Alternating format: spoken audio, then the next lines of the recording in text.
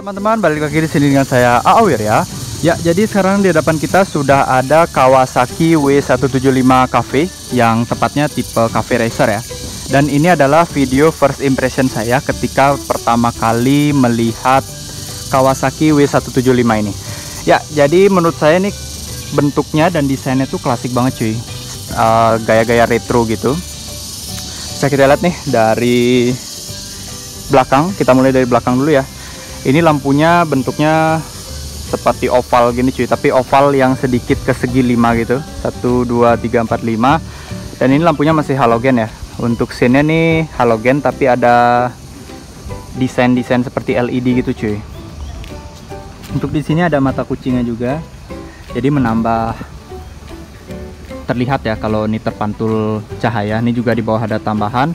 Dan untuk penghalang airnya ini pendek banget cuy menurut saya tapi untuk desain klasik seperti ini ya memang bagus sih seperti ini daripada terlalu panjang kurang enak dilihat. Dan desain dari Kawasaki ini benar-benar mantep banget. Ini saya suka banget bentuknya. Untuk di joknya dia warnanya ada dua ya. Ada coklat dan juga ada warna hitam tutun gitu cuy. Nah ini nih yang saya suka. Jadi untuk hal-hal kecil itu di, tetap diberikan detail ya oleh Kawasaki. Ini dikasih warna gold jadi ini benar-benar unik banget. Karena suspensi diberi warna gold itu mantap banget hasilnya. Tapi ini juga ada sih di Yamaha Vision dia warna kuning ya. Tapi yang di sini warna gold.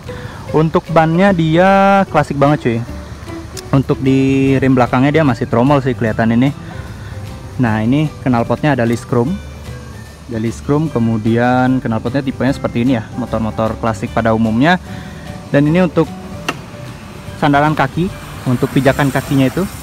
Jadi seperti motor mungkin teman-teman pada tahun 90-an ada yang pernah memiliki motor klasik ya seperti itu bentuknya mantap banget.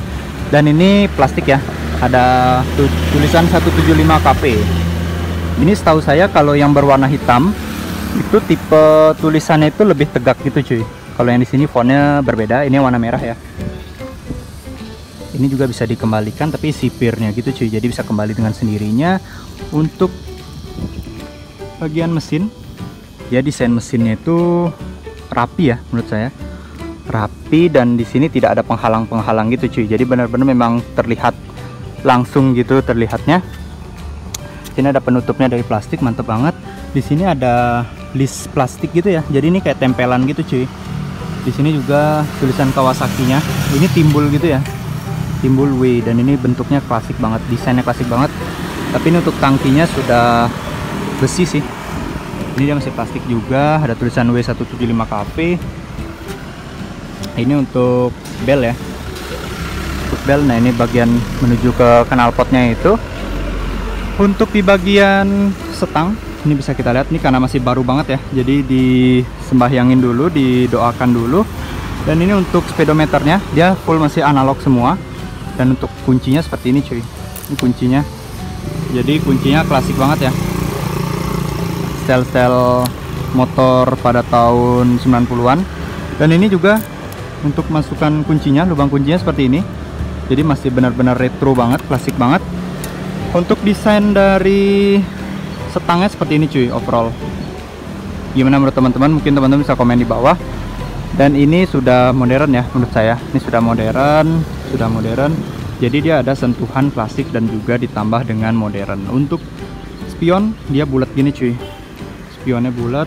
Kemudian untuk desain speedometer juga bulat nih ada lampu-lampu untuk sein kemudian untuk lampu sorot dan juga untuk posisi netral. Ya manual ya ini. Jadi di sini ada koplingnya kalau motor laki sih ya memang manual gitu cuy.